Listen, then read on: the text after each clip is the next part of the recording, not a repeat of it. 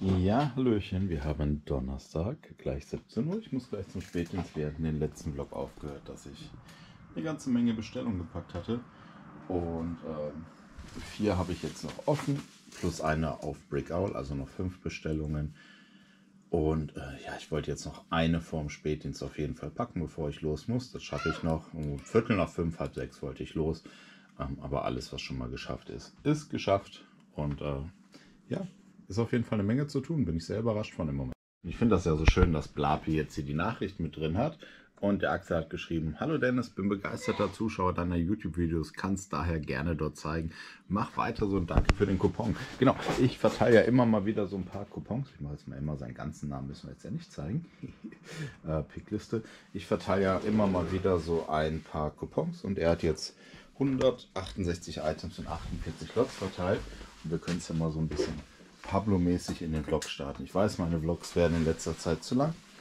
Ähm, ich bin auch schon am überlegen, ob ich vielleicht wirklich, wenn jetzt die Bestellungen so viel bleiben, dass ich äh, nicht mehr komplett jede Bestellung zeige. Ähm, aber da bin ich mir noch nicht so sicher, ob und wie ich das so weitermache. Eigentlich, ich weiß, das ist hier Sonnenschutz, aber jetzt ist es so, dass die Sonne hier nicht mehr drauf scheint. Da kann ich auch mal das Rollo hochfahren lassen.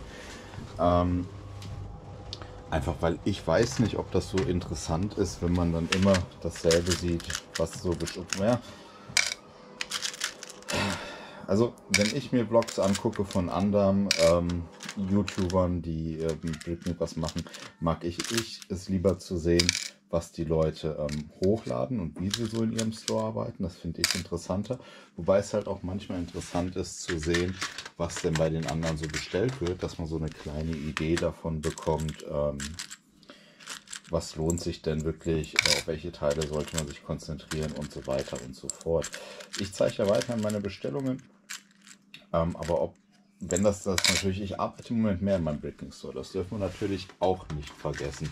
Und dadurch, dass ich mehr arbeite, ähm, sind wir natürlich in der Situation, 1, 2, 3, 4, 5, 6, 7, dass wir äh, wesentlich mehr Bestellungen kriegen.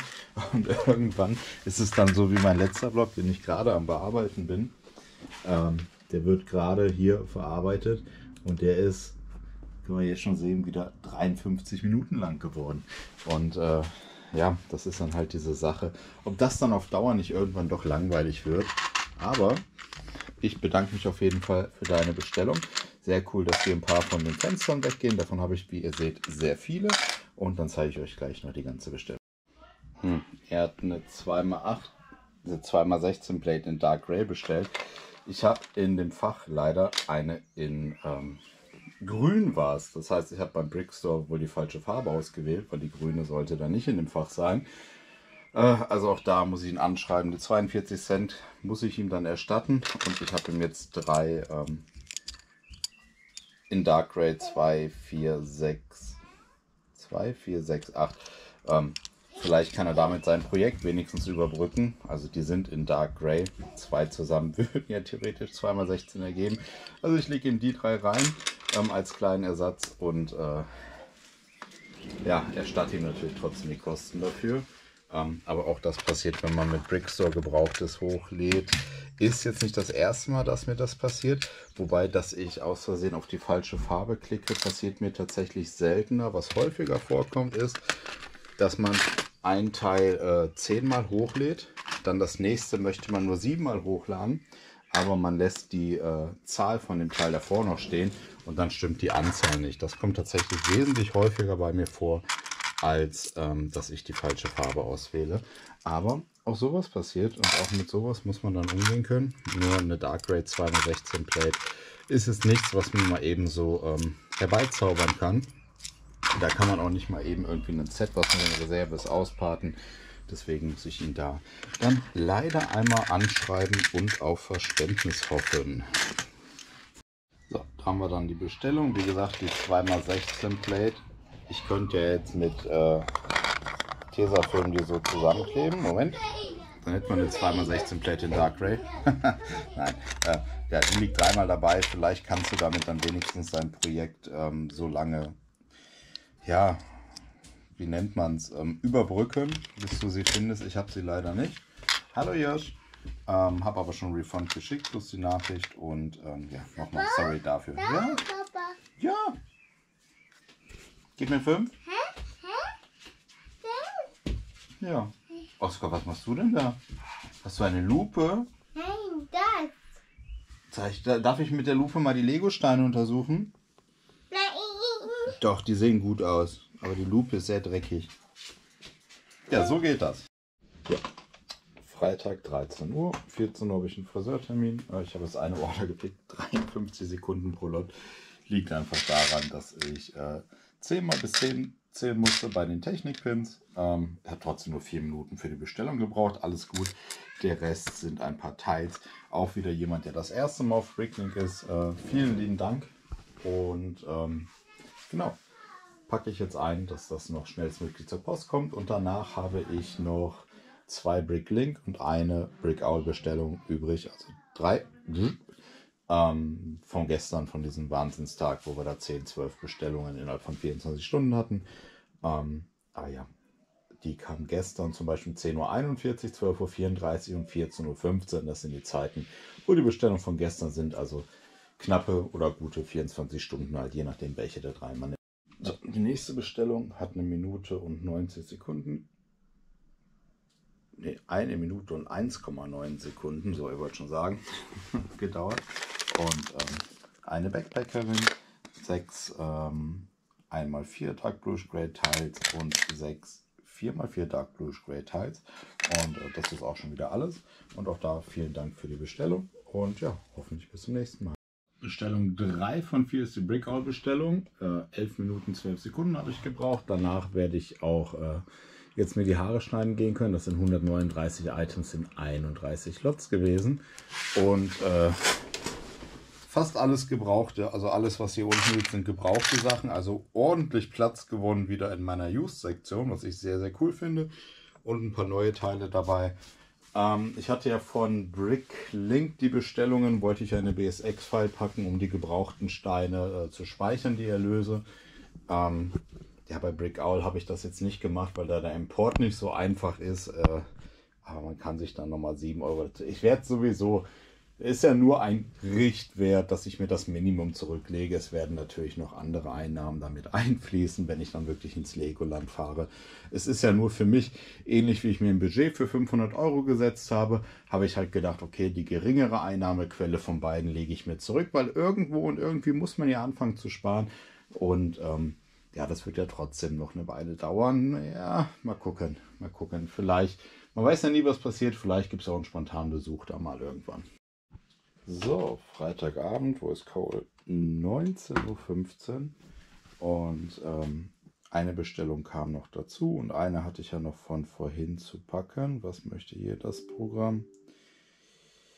Äh, nein, möchten wir nicht. Und zwar Bestellübersicht. Das ist auch noch die letzte Bestellung von gestern, die noch zu packen ist. Die ist auch ein bisschen größer wieder, deswegen habe ich die vorhin vom Einkaufen nicht mehr geschafft. Die ist von gestern 12.34 Uhr. Äh, 350 Items, 49 Lots. Und er hat eine Nachricht geschrieben. Ähm, hey, schau immer gerne deine Videos. Kannst mich auch gerne in deinem, ein, einem davon erwähnen. Habe ich hiermit gemacht. Würde mich freuen, wenn du die Bestellung in Druckschlussbeuteln verpackst. Viele Grüße, mach weiter so. Henning. Ja, ist natürlich gar kein Problem. Äh, moin, falsche Schublade. Beutel mehr als genug da. Äh, und habe auch noch im Keller Reserven. Und dann würde ich sagen, gehen wir mal über Blapi in, ich will jetzt natürlich nicht seine Daten zeigen, so, in die Pickliste. So, es sind seine Daten weg. Wie gesagt, es sind 350 Items, 49 Lots in 37 Schubladen. Ähm, so wenig Schubladen, das liegt daran, dass er, das habe ich schon mal ein bisschen äh, Sneak Peek gemacht, er hat Videoteils bestellt, die in letzter Zeit sich bei mir tatsächlich ziemlich gut verkaufen. Und die habe ich ja, ähm, kann ich ja schon einmal spoilern, immer mehrere Teils. Ich habe da nicht für jedes Teil ein Fach gemacht, sondern immer so eine überschaubare Menge an verschiedenen Teils. Sind hier unten in dem Magazin immer ähm, von einer Farbe zwei oder drei Stück, dass ich das schnell finde. Und äh, da hat er dann welche rausgenommen gleich. Ähm, 1, 2, 3, 4, 5, 6. Und da würde ich sagen, packe ich mal seine Bestellung, dann gucken wir uns gleich nochmal an, da du die Videos da siehst und das hier wahrscheinlich ähm, dir auch ansehen wirst, hoffe ich zumindest sehr. Ähm, ja, auch nochmal hier auf diesem Wege. Vielen Dank für deine Bestellung. Und das ist jetzt auch noch was. Hier steht jetzt A0618 und Balk 02. Es sind 34 Stück, hat er gekauft. 1900 bleiben übrig. Und wenn er jetzt nur zwei oder drei bestellt hätte, bin ich jetzt hier in die Schublade. Da er aber 34 bestellt hat, wechsle ich rüber. Und das hier ist dann quasi, ähm, ich habe es jetzt Balk genannt. Man hätte es auch Overflow oder Überschuss nennen können. Weil, äh, Moment, wo sind sie da? Ich habe natürlich keine Schubladen vernünftig in dieser Größe hier von diesen Jumper Plates in schwarz.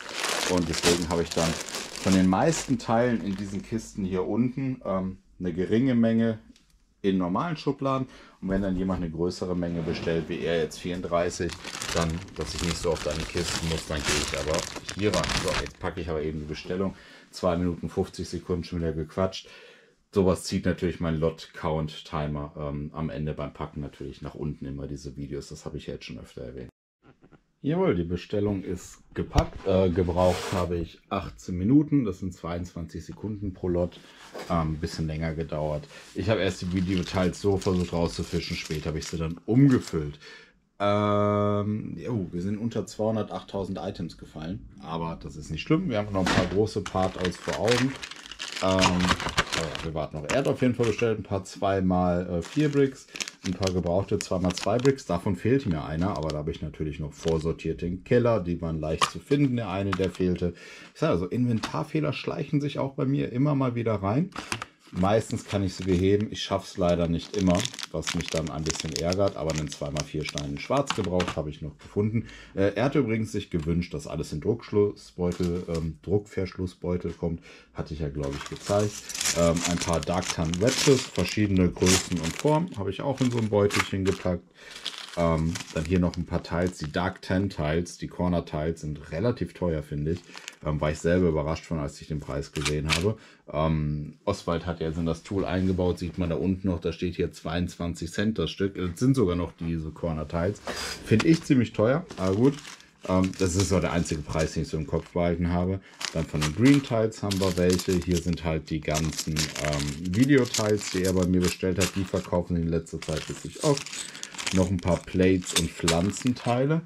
Ähm, bei den Pflanzenteilen in Lime und bei den Jumpern in Lime, zum Beispiel, es sollten nur zwei Jumper übrig sein. Da muss ich gleich mal gucken, ob die in der letzten offenen Bestellung sind oder ob ich bei den beiden Inventarfehler habe, weil das hier sind mehr als zwei und das hier sind definitiv mehr als sieben. Wenn nicht, kann ich noch ein bisschen nachfüllen.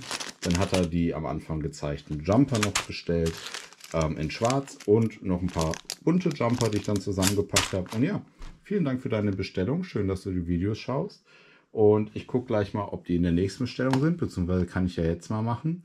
Und wenn nicht, kann ich die ja nochmal ein bisschen nachfüllen. Die sind tatsächlich nicht in der nächsten Bestellung, aber mal wieder eine Videofigur. Also dieses Videothema zieht sich im Moment durch viele Bestellungen bei mir. Finde ich ziemlich cool. Äh, die Bestellung packt man dann gleich noch zusammen. Und dann ist es auch erstmal die letzte. Dann habe ich keine mehr und kann vielleicht endlich wieder was uploaden. Das ist ja schon wieder, ja nicht ein paar Tage her, wäre übertrieben. Aber ähm, natürlich klar, wenn man jetzt äh, in jeder freien Minute, ich habe ja noch einen Job und einen Pflegedienst, den ich leiten muss, äh, wenn man dann in jeder freien Minute irgendwie zwischen den Diensten und Büroarbeiten und Einkaufen und Friseurtermin heute die ähm, Bestellungen packt, das ist natürlich schön. Aber ich sage ja immer, Bestellungen packen sind nötig und das mache ich und das mache ich auch gerne. Aber noch viel besser als Bestellungen packen ist, Bestellungen gepackt zu haben und weiter abzuladen, weil Uploaden ist das, was mir die größte Freude bereitet.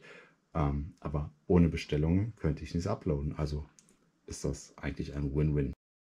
Ja, und die letzte Bestellung vorerst 16 Artikel, 9 Lots. Das sollten wir wohl relativ zügig schaffen. Das ging zügig, eine Minute 48 Sekunden, 12 Sekunden pro Lot. Ähm, ja. Wir haben einmal den eben angekündigten Video Drummer Wolf, finde ich ziemlich cool. Äh, BD8 von Star Wars und dann ein paar Teile, einzelne, genau, ein paar Schraubenschlüssel, ein Technikelement. Bei so einer kleinen Menge packe ich alles in einen Zipbeutel noch. Dann hat sie drei Zipbeutel oder zwei. Der BD8 ist ja eingeschweißt. Oder er, sie, ich weiß es gar nicht. Auf jeden Fall vielen Dank für deine Bestellung und viel Spaß damit. Das ist übrigens Grund, ich hatte letztens ja eine Bestellung und das meine ich jetzt nicht böse oder abwertend. Das hatte ich auch nicht nur einmal in der Vergangenheit, sondern öfter. Aber dann hatte ich ja eine 1900, 2000 Teile Bestellung so um den Dreh in einer Stunde 22 Minuten und hat einer geschrieben und oder haben in der Vergangenheit viele geschrieben, ja, aber wenn du jetzt ja den Zeit nimmst, dann hast du ja deinen Stundenlohn. Ähm, aber es ist ja auch total absurd. Ich habe jetzt hier unter zwei Minuten für einen knappen Zehner. Ähm, da kann ich ja auch nicht sagen, okay, äh, wenn ich das noch ähm, mal 30 nehme, dann habe ich 300 Euro die Stunde, wenn ich nur solche Bestellungen packe. Ne, ihr wisst, wie ich das meine. Also ähm, den Stundenlohn hier wirklich auszurechnen, wäre wirklich nur äh, möglich, wenn ich, sage ich mal, über mehrere Wochen oder Monate fest meine Arbeitszeit dokumentiere, gucke, welche Einnahmen und Ausgaben ich habe und dann den Gewinn durch die Zeit rechnen. Ähm, das wäre das, äh, auch das ist absurd. Nicht bei einem Hobby wie bei mir. Ähm, es gibt sicherlich Leute, für die das interessanter ist, aber bei mir als Hobbyverkäufer und gerade die Zeit, die ich immer mit den Clips hier verschwende, ähm, da, da, rechnen wir keinen Stundenlohn aus. Das ist unmöglich. Das ist, geht nicht. Egal wie sehr ich drüber nachdenke, ähm, ich komme auf keine Formel oder auf keine Art der Berechnung, die mir sagt, äh, wir können den Stundenlohn ausrechnen. Das funktioniert einfach nicht. Und ist auch nicht schlimm. Ich will es auch eigentlich gar nicht so genau wissen. So, das äh, Bestellchaos beruhigt sich ein bisschen. Wir haben Samstag 15.33 Uhr. Ich war heute schon fleißig, allerdings nicht hier im Store, sondern äh, ich habe Frühdienst gefahren. Ich habe den Gartenteich sauber gemacht. Ich habe den Rasen gemäht und äh, ja, dann noch so ein bisschen mit den Jungs gespielt. Ich habe jetzt eine Brickout-Bestellung, 127 Lots und 26 Items. Und äh, vorhin habe ich ähm, die Brickstore-Dateien von BrickSync geschnappt, um eine Datei weiterzumachen für die gebrauchten Teile. Das ist ja das Minimum, was ich jeden Monat oder jetzt dauerhaft zurücklege, der Dateiwert fürs Legoland. Das heißt aber nicht, dass ich im Legoland nur dieses Geld von den Gebrauchten ausgeben werde, sondern sobald es feststeht, werde ich natürlich, ähm, äh, äh natürlich noch mehr Geld zurücklegen als das. Das ist ja ganz logisch. Wir haben jetzt 127 Items, 26 Lots über Brickout zu packen. Und ähm, ja, legen wir einfach mal los und gucken, dass wir die fertig kriegen. Das ist doch mal eine lebensfrohe Bestellung. Alle von den großen Wedges, die ich habe, ein paar große schwarze Plates, schwarze Bricks, ähm, schwarze Dishes, Hinge Bricks, Plates, Wedges, schwarze Stühle, schwarze Brackets, noch mehr schwarze Brackets, ähm, schwarze Shooter und jetzt, Überraschung, Dark Bluish Gray, von denen acht Stück und von den flachen haben wir auch nochmal zwei Stück. Und äh, natürlich, damit es nicht langweilig wird, auch alle Sachen gebraucht geschwarzt. Zwei Turntables, noch eine Wedge, hier diese ähm, alten bedruckten Slopes. Und jetzt Achtung, eine babyblaue Milchflasche. Wahnsinn. Und für die Farbe Trans Orange, die Wedge. Ja, sehr schöne Bestellung bei Brickout. Vielen Dank, viel Spaß damit und bis zum nächsten Mal. So, die Sabine von Sandbricks hatte mir ja 30 von diesen äh, Offizieren hier, Sys Fleet Officers, verkauft. Und davon habe ich jetzt 10 Stück kommen auf Bricklink. Ähm, 10 habe ich ausgepartet. Dementsprechend haben wir äh, auch 20 von den Shootern und 20 von den Stats. Und die anderen 10 ähm, werden aufgehoben. Da oben kommt dann noch eine eBay-Kiste dazu für gebrauchte Figuren, wenn ich mal welche wirklich in so einer Menge kriege wie hier. Ähm, da habe ich natürlich auch immer Interesse dran. Und ähm, ja, die sortiere ich jetzt eben ein, die Sachen. Dann werden die hochgeladen und ich kann auch erstmal den Papierkarton hier da oben einfach hinstellen und dafür benutzen. So, da haben wir den Upload, äh, 10 Kommandeure und dann 10 mal ausgepartet plus die Shooter, 90 Items, 7 Lots, wovon 5 neu sind, 53 Euro. Äh, das ist definitiv in Ordnung. Ich habe mild Versand, meine ich, 40 bezahlt, ich bin mir nicht sicher. Und ich habe ja 10 Figuren übrig gehalten. Ist natürlich nicht das überragende Part-Out-Value, aber ähm, hey, es sind Star Wars-Figuren, die End of Life sind, auch wenn sie aus einem günstigen Battle Pack sind, ähm, was auch, glaube ich, nicht so beliebt war. Äh, ich habe eh viel zu wenig Star Wars-Figuren im Moment im Angebot, aber immerhin, die 10 Stück sind jetzt mit dabei. Ja, jetzt haben wir Sonntag 13.33 Uhr, Frühdienst beendet und wir haben eine einzelne Figur nach Australien bestellt. Ähm, da habe ich mal geguckt, weil mich das interessiert hatte, wer für eine Figur oder warum man für eine Figur die Versandkosten in Kauf nimmt. Ähm, aber dieser Lizard ist äh, aus dem Marvel Spider-Man Set tatsächlich so wenig auf Bricklink in Angebot, ähm, dass wir unter Garantie, ähm, ich glaube, nur 24 Leute hatten den und dann mit die günstigsten einfach für ihn waren. Und dann ist das halt so. Ähm, ist schön. Man muss natürlich wichtig ist, wenn ihr was ähm, ins Ausland versendet. Ich habe meinen Auslandsversand jetzt wieder angemacht, dass ihr hier ähm, bei der Warenpost international zum einen diese äh, Zolltarifnummer angebt, ähm, dieses CN22-Formular, das habe ich hier schon mal ausgefüllt, mit dem Gewicht pro Einheit, Lego Minifigur. Ihr müsst euch die Zolltarifnummern gar nicht aussuchen. Ähm, es sollte aber die Beschreibung eindeutig sein. Die Warenbeschreibung Lego Minifigure ist eindeutig. Also die Pflichtkennzeichen sind die, die mit Stern hier sind. Also selbst das Ursprungsland wäre egal. Man könnte es auch streiten, ist das Ursprungsland Deutschland, Dänemark oder das Herstellungsland. Aber ich habe jetzt Deutschland gemacht, weil es aus Deutschland hier verkauft wurde. Ähm, da ist aber nicht wichtig für die. Wichtig ist Gewicht, ähm, Warenwert und vor allem auch die Versandkosten. Ansonsten, wir sind unter 1000 Euro natürlich. Ähm, darüber verschicke ich auch nichts. Und äh, dann müssen wir halt noch die Sendungsart auswählen. Aber die ganzen anderen Sachen, Genehmigungsnummer, Bescheinigungsnummer, Kennnummer, das sind äh, Angaben, die ihr machen könnt. Die sind optional. Ähm, Pflichtkennzeichen sind alle die mit einem Sternchen. Irgendwo hier stand das auch mit dabei. Ähm, wo war denn das? Ist ja auch egal. Ähm, aber ja, das wird einem beim DHL sehr, sehr gut erklärt und äh, ist jetzt tatsächlich gar nicht so wild, wie man vielleicht denkt. Ähm, vier Positionen sind Maximum. Wenn ihr mehrere Sachen verschickt, könnt ihr auch weitere wahre Positionen hinzufügen. Ähm, das brauchen wir jetzt aber nicht, weil es wirklich nur die eine Figur war. Und die packe ich jetzt mal ein. Und weil man natürlich noch diese ähm, Zollhandelsrechnung außen dran kleben muss, kann ich den natürlich jetzt nicht in so einem kleinen Karton versenden. Das heißt, ich brauche einen Karton, wo ich einen Briefumschlag äh, dran machen kann. Und äh, aber auch das ist kein Problem. Sowohl Brick Owl als auch Bricklink machen das. Ist jetzt nicht das erste Mal, dass ich Auslandsversand habe.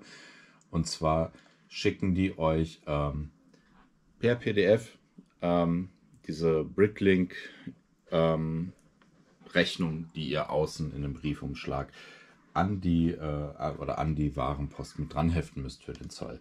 Ähm, ja, gut. Das einmal nur dazu, falls das wen interessiert. Warum habe ich den Auslandsversand angemacht? Ähm, mein, meine Umsätze sind so, dass ich es mir noch locker leisten kann. Wie gesagt, selbst wenn ich drüber gehe, ist egal. Und ich habe gedacht, ich mache es einfach mal wieder. Ich finde es immer so spannend. Ähm, wir hatten uns mal vorgenommen, so eine Karte zu nehmen, dass wir jeden Ort aufschreiben, an dem wir schon mal gesendet haben. Und dieser Ort in Australien ist jetzt definitiv ein neuer, der dazukommt. Und äh, das machen ja viele meiner Kollegen auch ins Ausland versenden. Natürlich nur in Länder, ähm, also die ganzen fragwürdigen EU-Länder mit Verpackungslizenzen habe ich natürlich weiterhin draußen gelassen, wie beispielsweise Frankreich. So, so sieht das dann aus. Wie gesagt, man braucht dann einen etwas größeren Karton, dass man hinten diese ähm, Rechnung mit dran hat. Ich versende nur Premium und man muss halt dieses CN22-Formular draufheben. Also muss man dann für eine kleine Minifigur so einen großen äh, Karton nehmen. Aber es ist dann halt so und ähm, ja, das gehört nun mal dazu, dass man so ein paar Dinge ausfüllen muss, wenn man international versendet. Das ist aber alles nicht schlimm. Äh, das Blapi-Tool kann natürlich diese äh, Rechnung nicht automatisch stellen. Ach, Rechnung, Versandschein, was aber gar kein Problem ist. Das Tool ist wahnsinnig gut und ähm, mein Ausgabenbeleg etc. kriege ich natürlich trotzdem noch ohne Probleme hin. Und äh, ich bin wirklich mit dem Blapi-Tool unglaublich zufrieden. Ähm, da kann ich überhaupt nicht drüber meckern. Muss ich natürlich hier wieder gucken. Und das ist ja jetzt die, diese ähm, Einnahme für mich, für LexOffice, erstellt mir das System ja trotzdem ohne Probleme innerhalb weniger Sekunden. Und äh, da wollte ich jetzt nur einmal gucken, ob er das hinkriegt. Wir schauen mal in Ruhe. Kriegt er bestimmt hin. Lädt jetzt gerade ein bisschen, das liegt aber an meinem Internet und nicht am Programm. So, genau, wie ihr seht, war ich beim Friseur.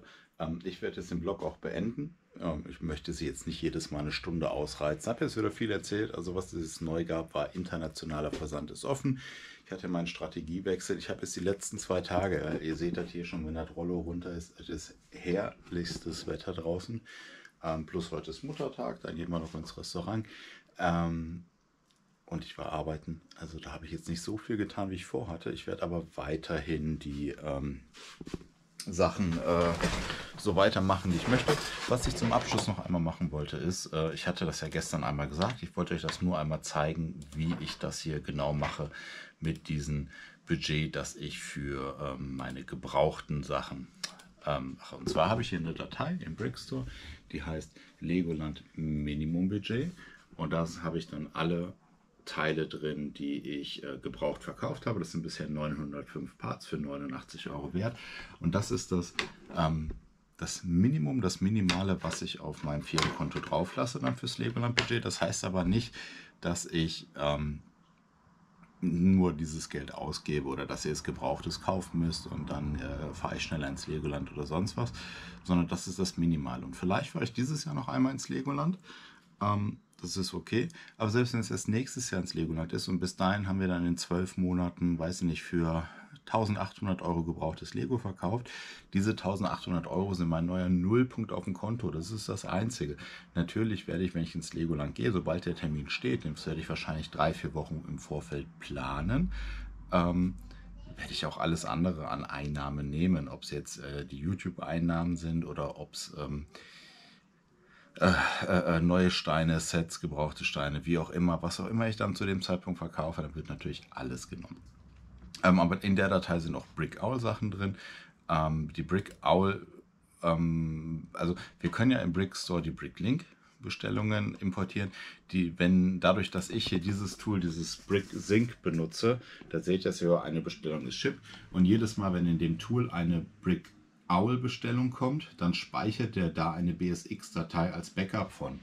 Ähm, das heißt, ich kann einfach, wie zum Beispiel hier haben wir die Brick Owl-Bestellung, kann ich dann über diese BSE, äh, BSX-Backup-Datei packen und dann sortiere ich einfach nach Zustand, dass die gebrauchten Teile oben sind.